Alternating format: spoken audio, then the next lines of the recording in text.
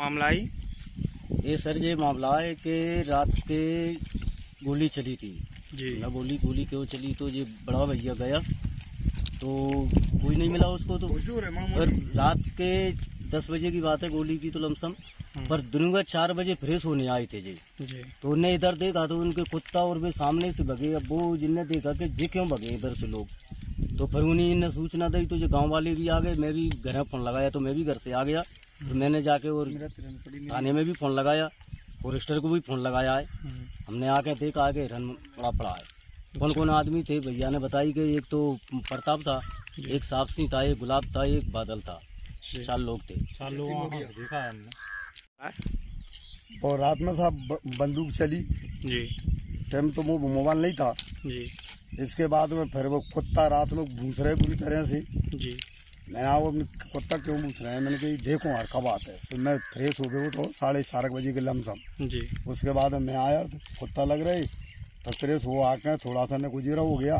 फिर मैं देख कब्बे मेरे देख कर मुँह गया हम्म, चार पाँच जने थे। हम्म, उसके बाद में फिर गुजरा हो गया तो मैंने देखा जी क्यों छिप रहे हैं? हम्म, तो से मैंने आके देखा तो ये रन पड़ी यहाँ पे जी। हाँ नाम बे गुलाब और साहब आपने किसी को सूचना दी इसकी? नहीं गाँव वाले नहीं थे। साहब अच्छा। हाँ मैंने कहा यार इतने रंडैया मरी जी। और फिर वो कुत्ता भी उनके जी गाँव वाले ने भी देख ले। जी। कुत्ता तो इन्हें सबने देख ले मैंने इनसे कही थी सब जुड़ के आए जो देख भी फिर उन्हीं। सुबह ही गोली मार नर चीतल का शिकार ग्रामीणों ने लगाया हत्या का आरोप वन विभाग जता रहा है, अज्ञात जानवर के हमले की शंका वन विभाग ने कराया चीतल का पोस्टमार्टम उदय सिंह यादव शाहबाद, उपखंड कस्बा थाना।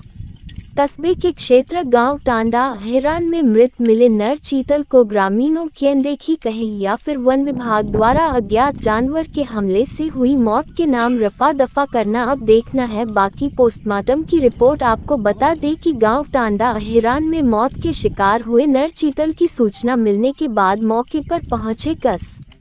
बा थाना अधिकारी रविंद्र सिंह ने वन विभाग को दी सूचना।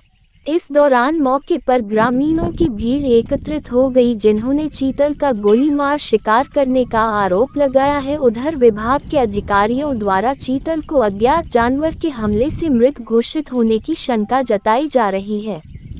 चीतल के गर्दन पर शिकारी जानवर के दांतों के निशान बताए गए हैं। ग्रामीण हनुमंत सिंह, कन्हैया यादव, सुरेश, हज़रत सिंह, वनवारी ईश्वर लाल भगवान सिंह, राकेश, पवन, रामू खनगार, सुरेंद्र जाटव ने बताया कि खेत में हिरन मृत पड़ा मिला है। ग्रामीणों ने पास के गाँव वालों पर हिरण को मारने का आरोप भी लगाया है। फॉरेस्टर सतीश गुर्जर ने बताया कि मृत हिरण को पोस्टम अटम के लिए किशनगंज भेजा गया है। पोस्टमार्टम की रिपोर्ट से पता लगेगा गोली लगी है या कोई अन्य बात है। फ़िलहाल वन विभाग ने मृत चीतल का कराया है पोस्टमार्टम।